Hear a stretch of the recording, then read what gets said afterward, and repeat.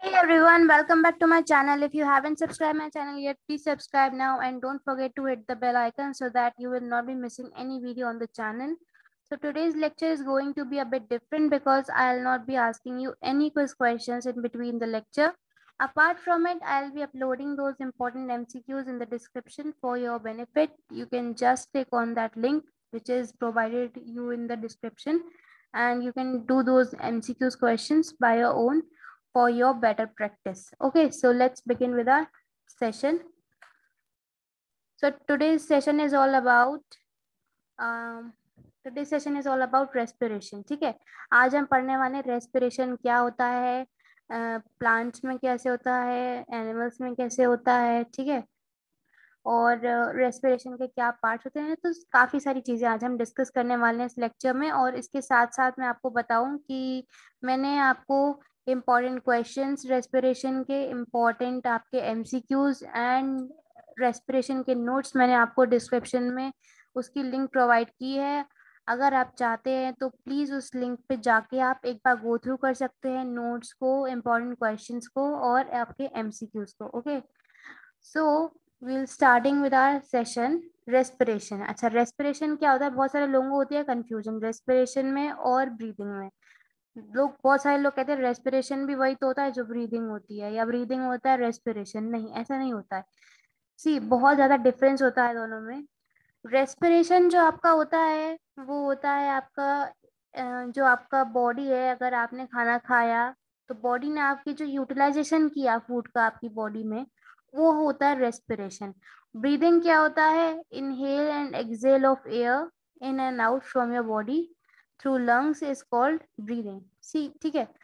अब हम सबसे पहले पढ़ लेते हैं रेस्पिरेशन के बारे में. The process by which living being utilize the food to get energy is called respiration respiration is an oxidation reaction in which carbohydrate is oxidize to produce energy mitochondria is the site of respiration and energy is release is stored in the form of A T P which is adenosine triphosphate. ADP is stored in mitochondria and is released as per need. Okay. So, अब मैं आपको थोड़ा सा easy language में समझाती हूँ कि जो रेस्पिरेशन होता है मैंने पहले बताया आपको इसकी डेफिनेशन या इसका प्रोसेस मैं आपको पहले बता चुकी हूँ कि um, वो प्रोसेस जब आपका कोई ऑर्गेनिज्म फ़ूड को यूटिलाइज करता है अपनी बॉडी में एनर्जी प्रोड्यूस करने के लिए, उसे हम कहते हैं रेस्पिरेशन रेस्पिरेशन आपका होता है ऑक्सीडेशन रिएक्शन जो कि आपने अपनी केमिस्ट्री के फ़र्स्ट चैप्टर में पढ़ा होगा टाइप्स ऑफ़ रिएक्शंस में कि ऑक्सीडेशन रिएक्शन क्या होता है, ठीक है? तो इसमें कार्बोहाइड्रेट ऑक्सीडाइज होता है एनर्जी प्रोड्यूस करने के लिए, ठीक है? माइटोकॉन्ड्रिया आपका साइट ऑफ़ रेस्पिरेशन होता है, ठीक है? रेस्पिरेशन आपकी कहाँ होती है? माइटोकॉन्ड्रिया में, ठीक है? एनर्जी जो रिलीज़ होती है, वो आपकी एटीपी के फॉर्म में रिलीज़ होती है। एटीपी का फुल फॉर्म होता है adenosine triphosphate and ATP is stored in mitochondria and is release as per the need तो जो आपकी एटीपी होती है, वो आपके माइटोकॉन्ड्रिया में स्टोर होती है और रिलीज़ भी होती है, मगर एज पर द नीड ये नहीं कि अब एटीपी स्टोर हो गई तो रिलीज़ होती रहेगी होती रहेगी तो फिर एटीपी स्टोर ही नहीं होगी ना, फिर अब तो रिलीज़ ही हो रही है वो बॉडी से अपनी। तो माइटोकॉन्ड्रिया में आपका एटीपी स्टोर भी होता है और रिलीज़ भी होता है, मगर रिलीज़ होता है आपकी नीड के हिसाब से। जब आपको एटीपी की ज़रूरत ज़्यादा पड़ती है तो आपकी एटीपी का जो रिलीज़ है, जो रिलीज़ हो रही है, वो बढ़ जाती है नीड और जब आपको नीड नहीं होती है उतनी तो वो अपने हिसाब से एज पर द नीड वो आपकी बॉडी में पहुँच जाता है, ठीक है? अब आता है स्टेप्स ऑफ़ रेस्पिरेशन रेस्पिरेशन के भी कुछ स्टेप्स होते हैं, ठीक है? क्या होते हैं? फ़र्स्ट स्टेप आपका आता है breaking down of glucose into pyruvate pyruvate में आपका जो ग्लूकोज है, उसका ब्रेक डाउन होता है तो कैसे होता है? This step happens in the cytoplasm पहली बात तो ये स्टेप आपका साइटोप्लाज्म में होता है, ठीक है? The glucose molecule is broken down into pyruvic acid तो जो आपका ग्लूकोज मॉलिक्यूल है वो पायरोविक एसिड में ब्रेक डाउन हो जाता है और जो ग्लूकोज मॉलिक्यूल है आपका वो सिक्स कार्बन एटम से बनता है और पायरोविक एसिड आपका थ्री कार्बन एटम से बनता है। ठीक है? सो so, ये चीज़ें बहुत इंपॉर्टेंट हैं जैसे कि आपका ये साइटोप्लाज्म में place take place your This breaking down of glucose into pyruvate takes place in cytoplasm and uh, glucose broken down into pyruvic acid and glucose molecule is composed of six carbon atoms whereas pyruvic acid is composed of three carbon atoms okay now baat aati hai pyruvic acid ki so further breaking it down in the pyruvic acid takes place in mitochondria so pyruvic acid banta kaise hai जब हमारा glucose और पायरोविट का breakdown होता है तो पायरोविट को ही हम फर्दर अगर और ब्रेकडाउन कर देते हैं तो वो पायरोविक एसिड फॉर्म करता है, ठीक है? अब pyruvic acid takes place in amoeba ठीक है? And the molecules formed depend on the type of respiration in particular organism तो जो आपका रेस्पिरेशन का या आपका पायरोविक एसिड के मॉलिक्यूल्स होते हैं, वो किस पे डिपेंडेंट होते हैं? आपकी रेस्पिरेशन के टाइप पे। अगर आपकी रेस्पिरेशन एरोबिक है तो पायरोबिक एसिड एरोबिक रेस्पिरेशन की तरह से निकलेगा। अगर एनारोबिक रेस्पिरेशन आप कर रहे हैं तो पायरोबिक एसिड एनारोबिक रेस्पिरेशन के फॉर्म में निकलेगा, ठीक है? और इधर से आपको ये भी पता चलता है कि रेस्पिरेशन होता है टू टाइप्स का, ठीक है? Aerobic respiration and anaerobic respiration okay ना आपका पॉइंट आता है रेस्पिरेशन इन्वॉल्व्स अब रेस्पिरेशन क्या क्या इन्वॉल्व करता है? रेस्पिरेशन आपका गैसियस एक्सचेंज इन्वॉल्व करता है और सेलुलर रेस्पिरेशन को इन्वॉल्व करता है, ठीक है? गैसियस एक्सचेंज क्या होता है? जब हम ऑक्सीजन को CO2 में चेंज करते हैं या एक्सचेंज होता है वो, या CO2 आपका O2 में एक्सचेंज होता है या चेंज होता है, उसे हम कहते हैं गैशियस एक्सचेंज क्योंकि कार्बन डाइऑक्साइड और ऑक्सीजन दोनों ही गैसेस हैं। अगर वो हमारी बॉडी में ब्रीदिंग के प्रोसेस के थ्रू एक्सचेंज होती हैं, हमारी बॉडी में तो उसे हम कहते हैं गैसियस एक्सचेंज और ये गैसियस एक्सचेंज होता है आपका रेस्पिरेशन के through okay now breaking down of food simple food in order to release energy inside the cell is called cellular respiration तो जो आपका फ़ूड है, वो थोड़ा और सिंपल सब्सटेंसेस में ब्रेक डाउन होता है एनर्जी रिलीज़ करने के लिए, उसे हम कहते हैं सेलुलर रेस्पिरेशन ठीक है? अब आता है आपका types of respiration types of respiration क्या कहता है हमसे एरोबिक रेस्पिरेशन होता है एक और एक होता है आपका एनारोबिक रेस्पिरेशन ये दो तरीके के रेस्पिरेशन हम पढ़ने वाले हैं। हमने नेम्स तो पहले ही पढ़ लिए थे, मगर अब हम इसको डिटेल में पढ़ेंगे, ठीक है? बेसिकली ये जो आपका लेक्चर होने वाला है, ये आपका बहुत ज़्यादा शॉर्ट होने वाला है, इसलिए मैंने इस वाले चैप्टर को वन शॉट एक्सप्लेनेशन बोला, क्योंकि ये बहुत छोटा चैप्टर है।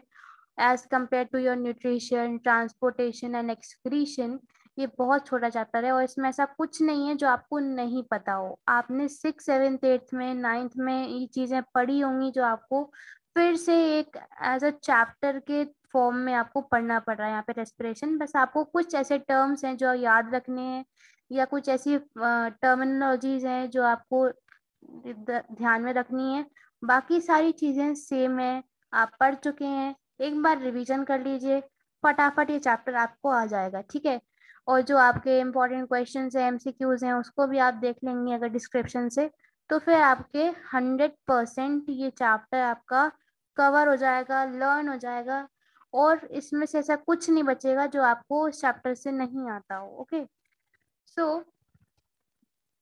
coming back to the topic this type of respiration happens in presence of oxygen so इसके लिए आप एक काम कीजिए, इसके लिए आप बनाइए एक टैबलर टेबल इस तरीके की टैबलर टेबल बनाइए एक, अपनी नोटबुक में या नोट्स में जहाँ पे भी आप लिख रहे हैं ये चैप्टर को।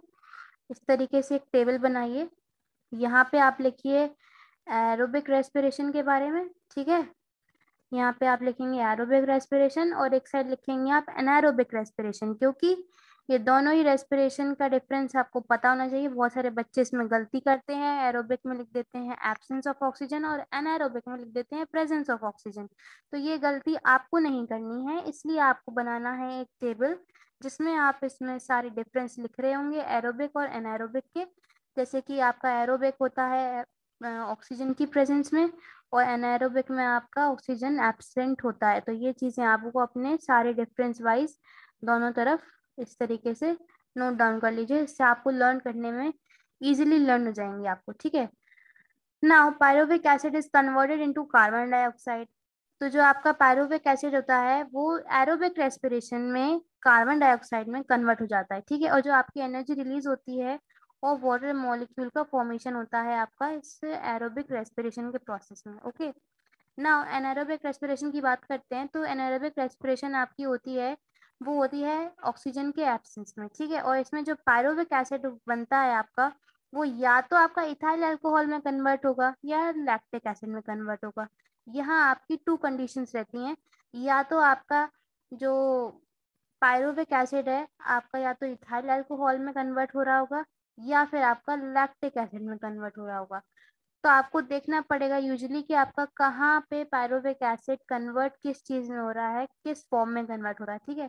तो जो आपकी इथाइल अल्कोहल होती है, वो आपके एनारोबिक रेस्पिरेशन के केस में फॉर्म होती है, ठीक है? और ये माइक्रोब्स में फॉर्म होती है, जैसे कि ईस्ट और बैक्टीरिया ये दो आपके ऐसे ऑर्गेनिजम्स हैं जिसमें आपकी इथाइल अल्कोहल फॉर्म होती है, ठीक है? अगर आपसे क्वेश्चन पूछ लिया जाए कि इथाइल अल्कोहल कौन से माइक्रोब्स में या कौन से ऑर्गेनिजम्स में पाया जाता है तो आप ईस्ट और बैक्टीरिया का नाम लिख सकते हैं, ठीक है?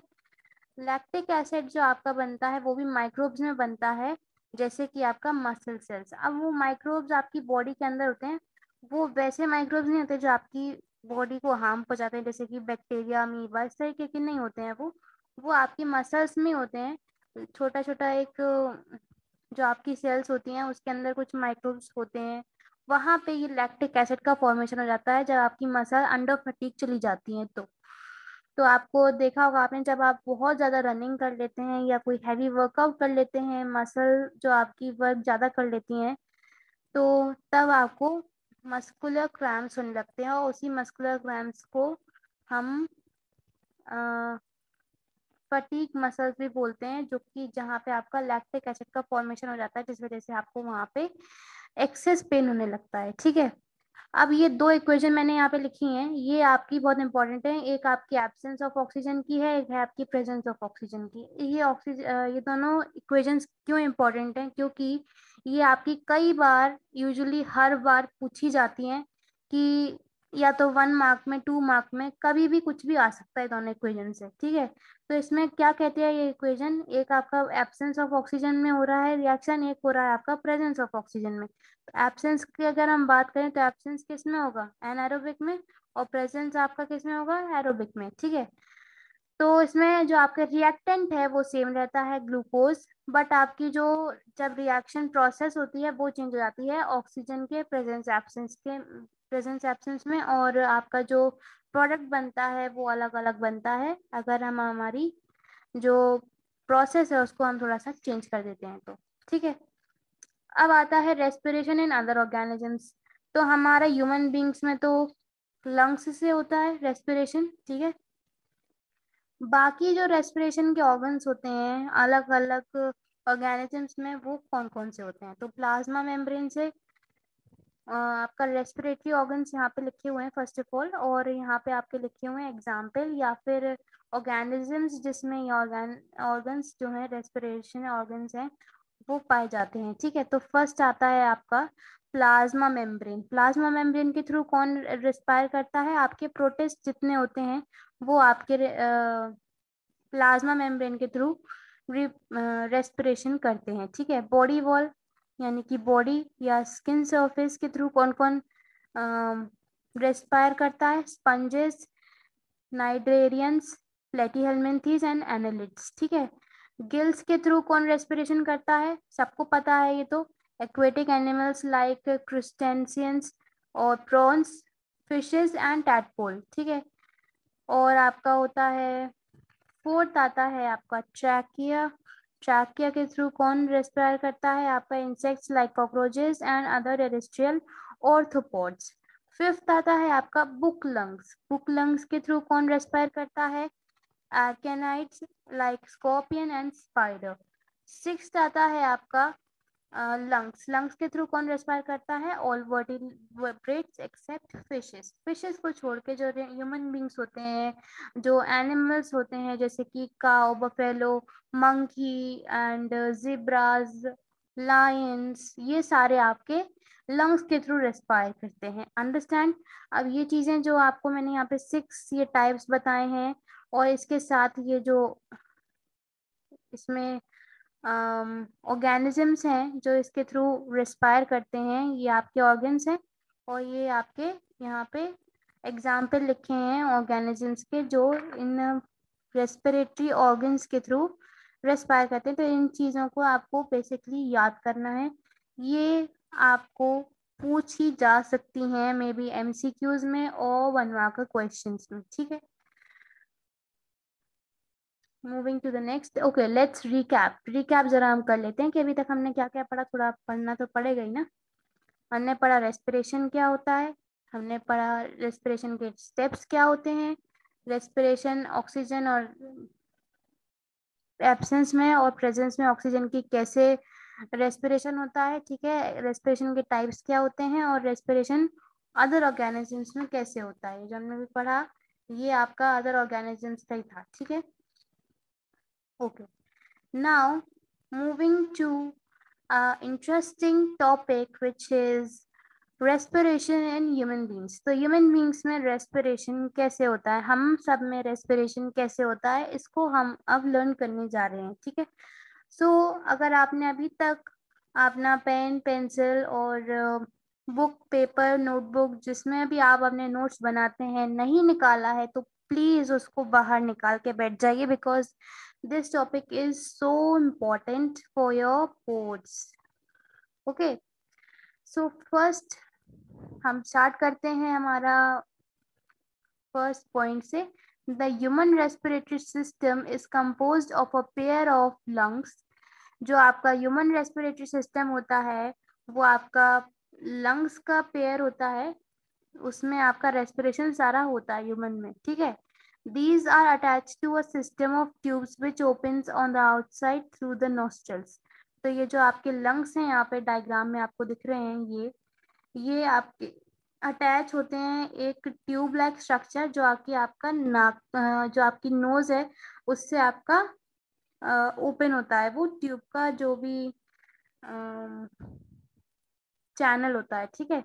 Chamber or channel, what you, whatever you want to say, you can say it. The human beings or do both aerobic and anaerobic respiration.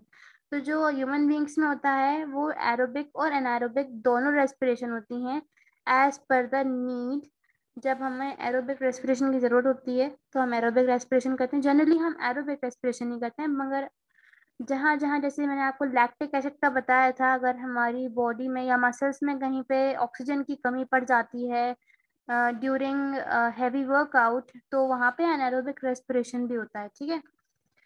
सो जो ये डायग्राम है ना यहाँ पे, ये वाला, ये बहुत इंपॉर्टेंट है, इसको आप याद कर सकते हैं, और याद कर नहीं सकते हैं, आपको करना ही है कि कौन सा लेबलिंग कैसी है, कहाँ पे कौन सा ऑर्गन प्रेजेंट है बिकॉज़ ये आपका आ सकता है एज अ फिलिंदी ब्लैंक जैसे कि यहाँ पे ये डायग्राम दे दिया आपको। इसमें आपको लेबलिंग करनी हो सकती है। हो सकता है यहाँ पे आपको नेजल पैसेज नहीं लिखा हो एक डैश बनाओ फिर आपको पूछ लिया जाए कि ये क्या चीज़ है तो इधर पे आप लिखेंगे नेजल पैसेज तो इसके लिए आपको डायग्राम्स पढ़ना बहुत ज़्यादा इंपॉर्टेंट है okay Now, following are the main structures in the human respiratory system. अब human respiratory system में जो आपके स्ट्रक्चर होते हैं मेन स्ट्रक्चर वो ये सारे हैं। कौन कौन से हैं? Nostrils pharynx larynx trachea bronchi bronchioles alveoli तो ये सारी चीज़ें आपकी इंपॉर्टेंट हैं स्ट्रक्चर्स हैं एक्चुअली ये आपके ह्यूमन रेस्पिरेटरी सिस्टम के, ठीक है? अब अगर आप ये वाला डायग्राम यहाँ पे देखेंगे तो इसमें आपको पता चलेगा nasal passage mouth cavity pharynx larynx bronchi bronchioles ये एल्विलॉय है आपकी, ये सारी चीज़ें हम इसमें पढ़ रहे हैं, ठीक है? So there are two nostrils which converge to form a nasal passage तो जो हमारी ओपनिंग होती है, जो होल्स होते हैं हमारे नोज़ में, उसे हम कहते हैं नॉस्ट्रल्स जिसके थ्रू हम एयर को अंदर ब्रीथ करते हैं या इनहेल करते हैं, ठीक है? The inner lining of the nostrils is lined by hair and remains wet due to mucus secretion. So so, जो हमारी इनर लाइनिंग है नॉस्ट्रल्स की वो वहाँ पे हेयर लाइक स्ट्रक्चर होता है और वो हमेशा वेट रहता है थोड़ा सा मॉइस्ट रहता है म्यूकस सिक्रीशन के वजह से जिससे जो हेयर और हमारा जो म्यूकस सिक्रीशन होता है ये आपका बेनिफिट बहुत करता है आपको क्योंकि इसके वजह से इसके प्रेजेंस में आपके जो डर्ट डस्ट पार्टिकल्स हैं या इम्प्योरिटीज हैं वो आपके अंदर नहीं जा पाती हैं due to presence of this two two what we can say two components hair and mucus ये दो कंपोनेंट हैं आपके, जिस वजह से आपकी जो नोज़ से आपका जो डर्ट डस्ट है वो अंदर आपके नहीं जा पाता है। ठीक है, अब फेरेनिक्स की बात आती है। It is a tube like structure which continues after nasal passage तो ये आपका ट्यूब लाइक स्ट्रक्चर होता है जो आपका नेजल पैसेज में प्रेजेंट होता है। नेजल पैसेज क्या है? नेजल पैसेज ये है आपका। यहाँ से जितना ये वाला एरिया है वेट ये जितना एरिया है आपका ये वाला, ये आपका नेजल पैसेज यहाँ से आपका नॉस्ट्रल्स यहाँ पे प्रेजेंट रहती हैं आपकी ये वाली एरिया में और ये आपका नेजल पैसेज होता है पूरा, ठीक है? अच्छा वेट यस सो लैरेनिक्स आता है larynx this is the part comes after pharynx it is also called the voice box तो आपने देखा होगा, एक होता है विंड पाइप एक होता है फ़ूड पाइप तो जो आपका फेरेनिक्स होता है, इसको आप कहते हैं विंड पाइप और लैरेनिक्स होता है, इसको आप कहते हैं फ़ूड पाइप ठीक है? अब आता है ट्रैकिया ट्रैकिया एक ब्रांच होती है, या एक ट्रंक समझ सकते हैं जैसे कि एक ट्री होता है. Let me draw diagram over here जैसे कि ये एक ट्री होता है, इस तरीके से। फॉर एग्ज़ाम्पल दे रही हूँ डायग्राम पे बिल्कुल भी मत जाना, ठीक है? तो यहाँ से इसकी इस तरीके से ब्रांचेस निकलती हैं। ये एक आपकी मेन चंक होती है और ये होती हैं आपकी ब्रांचेस जिससे और ब्रांचेस इससे निकलती हैं ऐसे और इधर पे भी आपकी लीव्स वगैरह प्रेजेंट रहती हैं। अब हम इसी को अगर हम उल्टा कर देते हैं तो आपका बन जाता है रेस्पिरेटरी सिस्टम ठीक है? तो ये आपका होता है ट्रैकिया और ये ट्रैकिया यहाँ पे डिवाइड होता है दोनों लंग्स में, ठीक है? ये आपका एक लंग में ये गया, ठीक है? ये लंग ऐसा होता नहीं मगर समझ लो बस, ठीक है? एक लंग ये हो गया तो ये आपका ट्रैकिया है, ये आपका दो पार्ट में डिवाइड हो जाता है, एक आपका राइट लंग में जाता है, एक लेफ़्ट लंग में जाता है, ठीक है? So yes now trachea it is compose of rings and cartilage जो आपका ट्रैकिया होता है, वो आपका रिंग्स और कार्टिलेज से कंपोज होता है।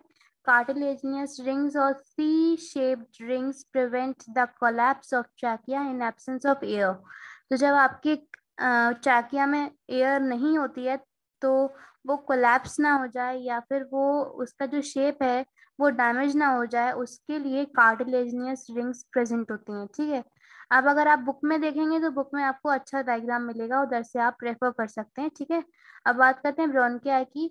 A pair of bronchia comes out from the trachea with one bronchus going to each lung तो मैंने आपको जो ट्रंक बताई थी अभी, जैसे ये वाला डायग्राम बताया था, इस तरीके से जाता है। तो ये वाले जो पार्ट होते हैं ब्रांचेस जो निकलती हैं, एक ट्रंक से, उसे हम कहते हैं ब्रोनकिया ब्रोनकाय ठीक है? और एक ब्रोनकाय जो हमारे लंग में जाती है सीधे, उसे हम कहते हैं ब्रोंकस ओके अब ब्रोंकियोल्स क्या होते हैं?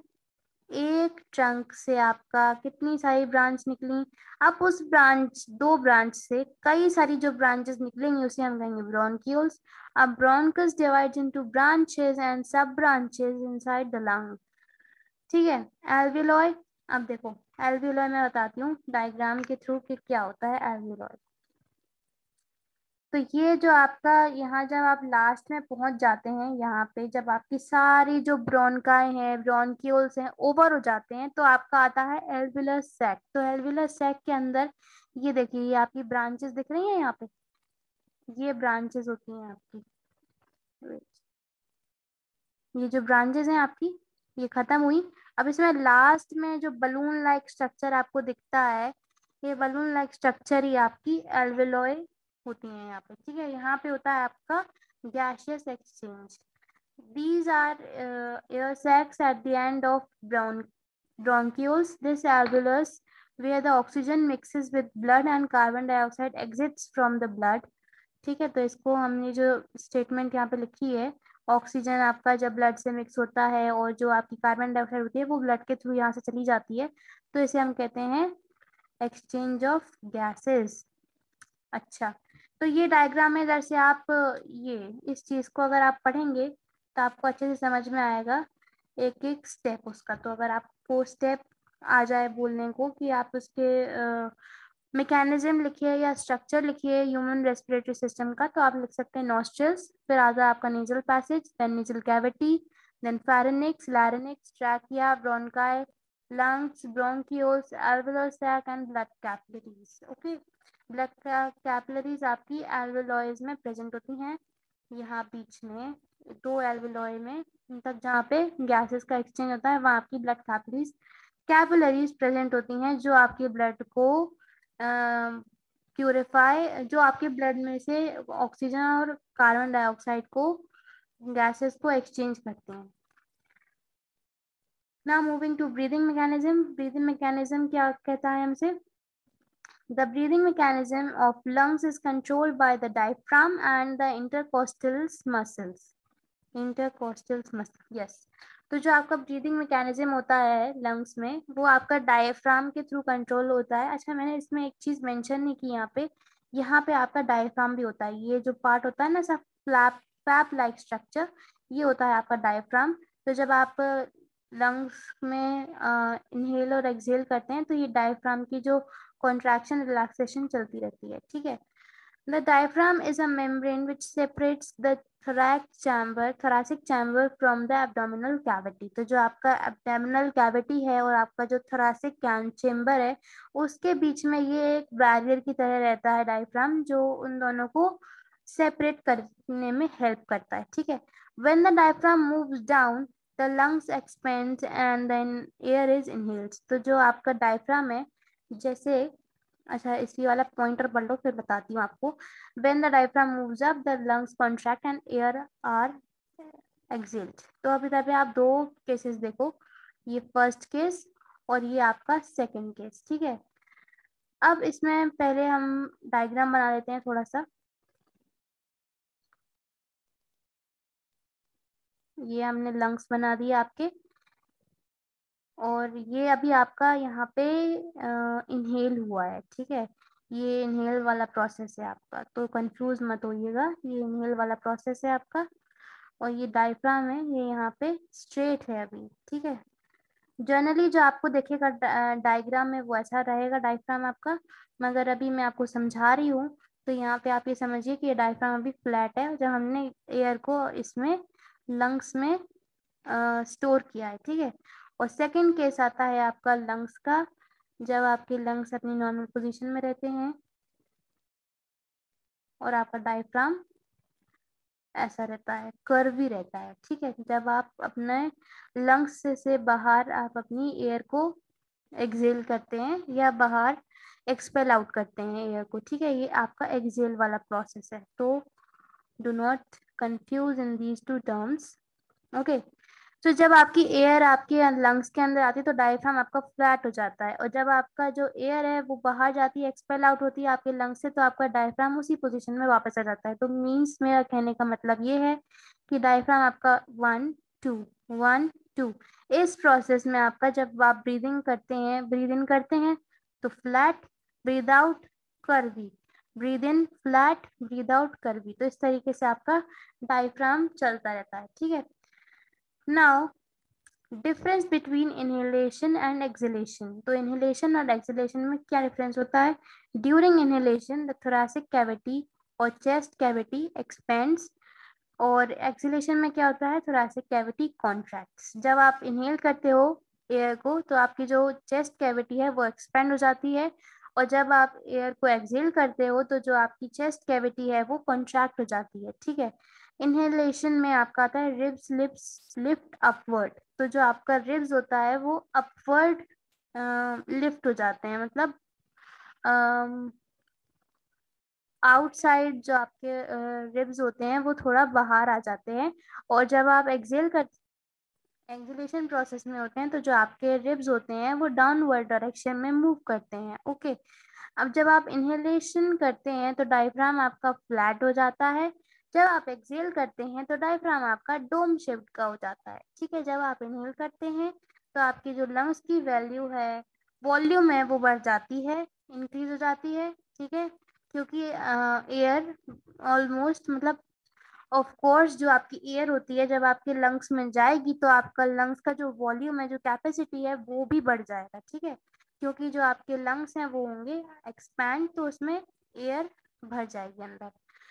In the process of exhalation the lungs decrease the volume of lung decreases and air exits from the lungs तो ये आपका सिंपल डिफरेंस था फोर पॉइंट्स का इनहेलेशन और एक्सलेशन के बीच में ठीक है?